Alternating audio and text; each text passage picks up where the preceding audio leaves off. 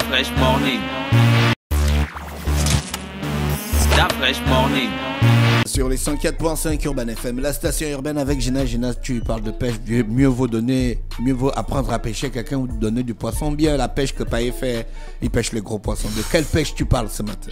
Je parle de la première pêche, celle de Confucius. Donc c'est une citation que l'on attribue à Confucius, que tout le monde a déjà au moins entendu une fois dans sa vie, qui dit quand un homme a faim, mieux vaut lui apprendre à pêcher que de lui donner du poisson. Après, il y a des variantes en fait de cette, euh, de cette euh, citation, des variantes qui sont euh, une variante qui elle est attribuée à Mao Zedong Mao et cette variante euh, Mao, Mao Zedong, Zedong. Zedong. C'est comme. Et donc cette variante euh, dit euh, ne me donne pas de poisson, apprends-moi plutôt à pêcher. Dans tous les cas, ça tourne autour de la même chose, peu importe la personne à qui est attribué en fait la maxime. Je pense qu'on a saisi le sens et au moins une fois dans notre vie, on a entendu parler de cette maxime. Et pourquoi est-ce que j'avais envie de parler de pêche et de poisson? Ce matin, c'est parce que, comme tu le sais, euh, bon, j'espère que tu, tu l'as vu hier, dans le journal euh, d'hier, au milieu du journal, il y avait deux pages pleines en fait de l'ONE. Donc, l'Office national de l'emploi, qui a adressé ses meilleurs voeux aux 177 entreprises qui ont œuvré durant l'année, euh, depuis 2016, hein, qui ont œuvré depuis 2016 à l'employabilité, à l'amélioration de l'employabilité de plus de 4155 jeunes Gabonais avec la signature de contrats d'apprentissage, euh, d'apprentissage jeunesse. Tu sais, c'est le président qui avait annoncé ça lors de ses dis- de- lors d'un de ses discours il y a quelques années. Et euh, donc, ces entreprises-là, qui souscrivent en fait au contrat d'apprentissage jeunesse, acceptent de recevoir des jeunes euh, en formation, en stage et ainsi de suite, ce qui leur permet d'acquérir une première expérience professionnelle qui est nécessaire ensuite pour la pour euh, le désolé pour l'autre suite pour la suite de leur de leur carrière parce que tu sais quand tu sors de de de, l'école et que tu veux postuler à un emploi on te demande toujours ton CV mais si tu n'as jamais été intégré dans une entreprise tu vas comprendre que tu n'as pas d'expérience professionnelle. Et il- les entreprises refusent souvent de prendre des des personnes qui n'ont pas d'expérience professionnelle. Donc tu vois c'est un cercle en fait compliqué d'où la mise en place du contrat d'apprentissage jeunesse où des entreprises acceptent de prendre des jeunes en fait euh, dès qu'ils sortent de leur de leur euh, établissement scolaire ou du moins euh, lorsqu'ils ont envie des jeunes diplômés ou des jeunes sans qualification pour bien entendu acquérir euh, une une une première expérience professionnelle. Donc j'ai trouvé euh, hier ça m'a vraiment euh, fait réfléchir cette euh, c'est c'est ce, ce petit rapport de euh, ce petit rapport et c'est c'est cette présentation de vœux assez originale de l'ONE que j'ai trouvé bien et puis je me suis dit euh, que c'était bien c'était intéressant mais que 4155 c'était pas suffisant c'était pas suffisant parce que si tu prends le nombre d'étudiants qui sortent de l'IST, tu prends le nombre d'étudiants qui sortent de l'Institut de gestion, tu prends le nombre d'étudiants qui sortent de l'UOB, tu prends, ceux qui sortent de l'USTM. C'est que tu prends en fait toutes les écoles du Gabon. Rien que la QV 2020, tu vas te rendre compte du nombre de jeunes diplômés qui ont besoin d'être intégrés dans une, dans une, euh, dans une organisation. Après, ça c'est juste pour les diplômés. Mais si tu fais le tour de Libreville, tu fais le tour du Gabon, tu vas encore avoir l'ampleur de la difficulté des jeunes sans qualification, mais qui sont en besoin en fait d'intégration, d'une, euh, euh, de, je sais pas, besoin d'apprentissage, de formation, de voilà, de, de, de trucs en fait. Et même si d'un côté je félicite grandement le travail de l'ONE, je pense encore que on a, on, peut dire, on peut en vouloir en- encore un peu plus, tu vois, on peut en demander un- encore un peu plus, mais pas uniquement à l'ONE, parce que on connaît tous, va, étant donné qu'on est dans les adages, on va en faire comme ça plein. Et on connaît tous l'adage africain qui dit qu'un seul doigt ne peut pas laver la figure, tu vois. C'est que l'ONE seul ne peut pas genre gérer toutes ces questions-là. C'est-à-dire que il y a plein de choses à mettre en place dans le pays pour arriver à juguler de manière claire la problématique de, l'employabilité des jeunes, l'oisivité des jeunes, ou je sais pas, ce que vous voulez, la formation des jeunes et ainsi de suite. Et gérer cette question-là, c'est donner de la force à des personnes qui sont capables de soit former des jeunes, soit prendre des jeunes genre euh, en training et tout ça, euh, en apprentissage, ou soit prendre des jeunes en stage et les intégrer dans leur entreprise. C'est c'est c'est c'est là où je veux en venir. C'est-à-dire que quand tu regardes la liste des entreprises, certes, il y a des petites entreprises, il y en a qui sont un petit peu euh, voilà, mais il, y a- il en Il y existe en a petit- tellement. qui sont un petit peu, voilà, voilà, c'est quoi C'est-à-dire qu'il y en a qui sont jeunes, mais qui ont encore qui ont de la motivation, tu vois, de, de prendre d'autres jeunes Gabonais avec eux. Il existe tellement d'entreprises que si tu vas à l'ANPI et que tu prends le fichier de la création des entreprises pour avoir une idée, euh, une image claire des PME, rien que celles qui, qui sont dans l'artisanat et ce genre de choses, et que tu regardes ensuite le, le nombre de, de, jeunes, tu vas voir que il y a un match qui est, qu'il y a un matching qui est possible de faire entre les deux.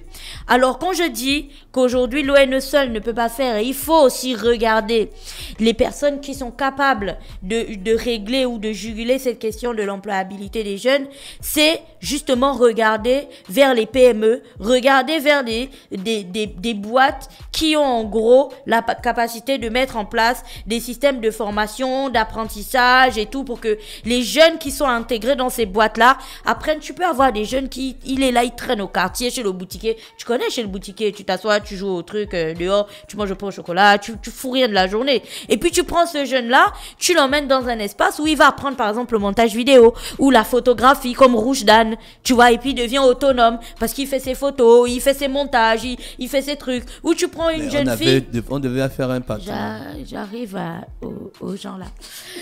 Où tu prends une jeune fille qui, tu vois, qui, qui fait pas grand chose et tout, et puis tu l'emmènes et elle apprend à faire des confitures avec, euh, je sais pas, avec Jessica Logo, et puis voilà, tu, ou tu, tu prends quelqu'un qui, qui a de la force physique, euh, qui, qui a rien, et puis tu, tu l'aides à intégrer le village agricole de Bolokobwe avec euh, Hervé Omva, et puis voilà, le gars, après tu lui donnes, après tu lui donnes un petit espace, un petit lopin de terre où il va, où il va cultiver ses légumes et tout, et tu as couvert plein de petits secteurs.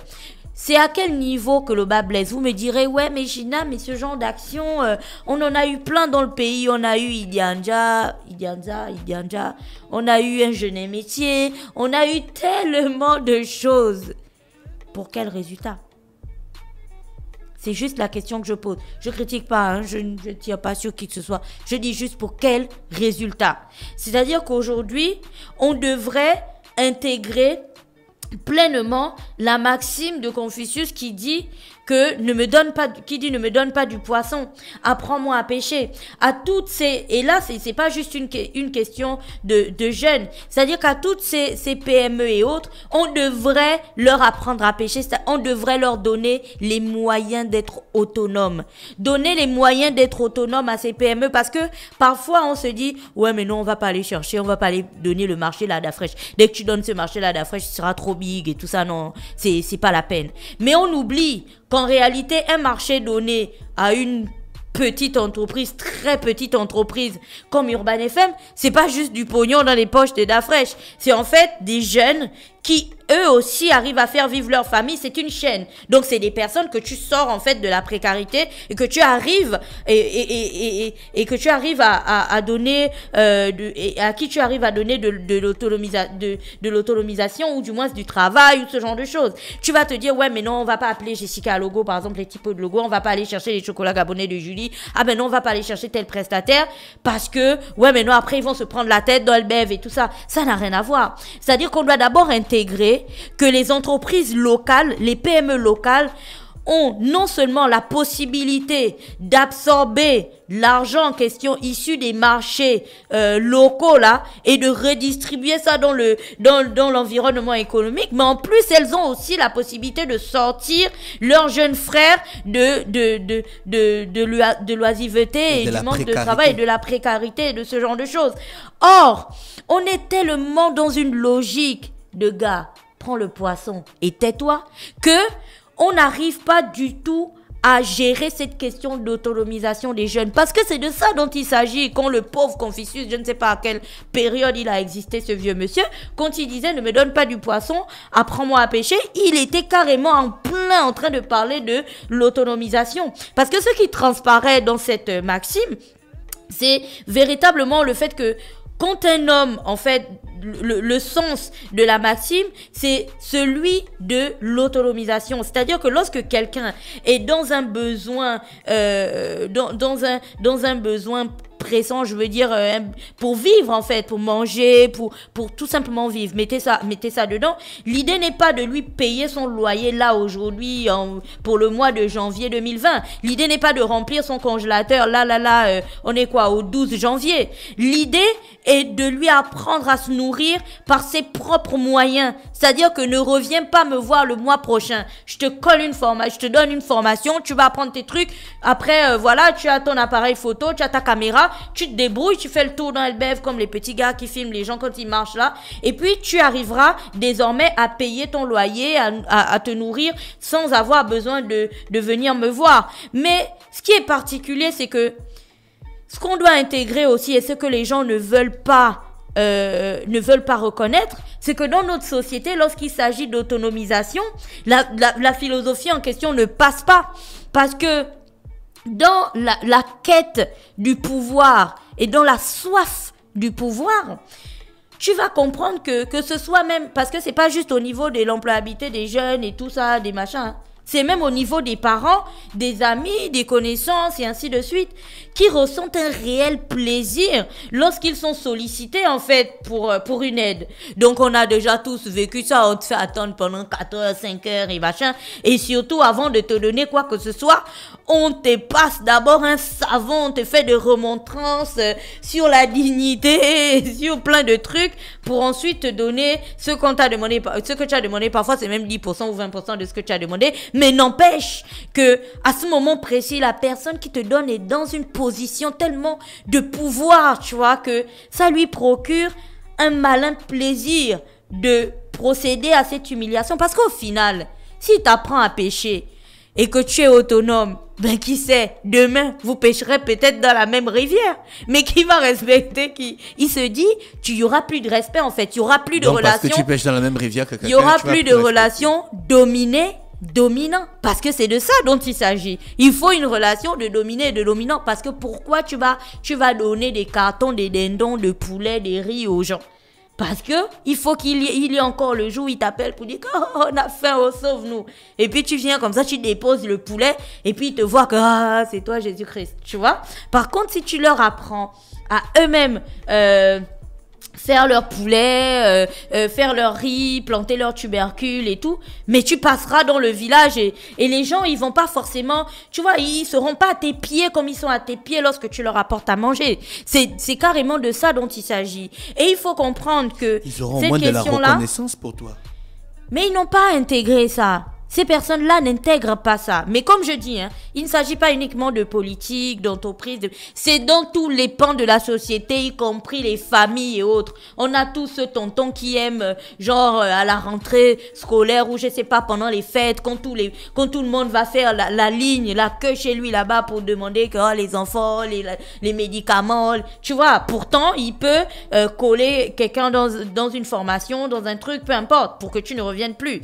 Donc, ce qu'il faut en fait euh, saisir dans cette maxime, c'est véritablement au-delà de la question de l'autonomisation. Je sais, j'ai vraiment, j'ai, vraiment très grossi les traits. J'ai, fait ça vraiment très grossièrement pour que vous puissiez euh, comprendre ce qu'on veut dire aujourd'hui. Ce qu'il faut saisir au-delà de l'autonomisation, c'est véritablement la nécessité de changer notre manière de penser le monde, changer notre manière de penser les collaborations, changer notre manière de penser les interactions que l'on a avec les autres. Il y a l'autre, euh, il y a l'autre adage qui dit qu'on on ne se marie pas entre pauvres, tu vois, parce que les riches se marient entre riches. En réalité, ce que ça veut dire, c'est que si tu as, si tu as un peu de pognon, par exemple, et que tu, tu prends quelqu'un qui a zéro pognon aussi, mais tout ton pognon va finir pour essayer d'équilibrer les choses à avoir, tu vois. Or, lorsque vous êtes déjà moyennement, genre, euh, voilà, vous avez un petit taf chacun, vous vous débrouillez et tout, vous pouvez trouver un équilibre intéressant. C'est toute la question de se donner de la force donner de la force, ça passe par toutes ces choses-là. Et il faut changer notre manière de penser qui, se, qui dit que si tu aides quelqu'un ou si quelqu'un du, du, du, coup est désormais autonome et ainsi de suite, il ne va plus venir à, disons que tu vas perdre, je sais pas, le respect qu'il avait pour toi et ainsi de suite. La seule chose que tu vas perdre, c'est qu'il viendra plus à tes pieds te supplier, on dirait que tu es un dieu tu vois.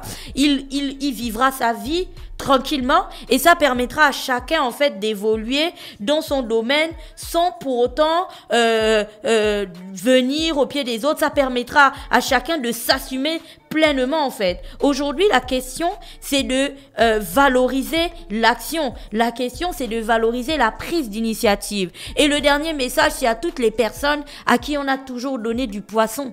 Alors Confucius a dit ça il y a tellement d'années que je ne sais même pas si nous on était en projet. Mais aujourd'hui si vous, si vous êtes une, personne à qui on continue à donner du poisson et que euh, jamais on vous apprend à pêcher, je pense qu'il est temps en 2021 de vous-même commencer à chercher votre canne à pêche, chercher le petit marigot où vous allez aller pêcher, vous vous débrouillez, vous, apprenez, vous apprenez par vous-même. Parce que si vous ne prenez pas la, la responsabilité, les, vos dispositions pour aller apprendre à pêcher, parce qu'apprendre à pêcher, c'est aussi très humiliant. Hein. Tu vas chercher les, les, les appâts, les trucs, il y aura la boue, tu vas glisser, tu vas tomber, tu vas avoir plein de trucs. Mais ce qui est bien, c'est que quand tu auras ton premier poisson, tu seras content. Donc ça au moins, c'est une humiliation qui est beaucoup plus valorisante et qui porte ses fruits que l'humiliation de chaque fin du mois courir après un boy pour lui dire que à mon loyer, à mon courant, à mes trucs. Allez-y apprendre vous-même à pêcher.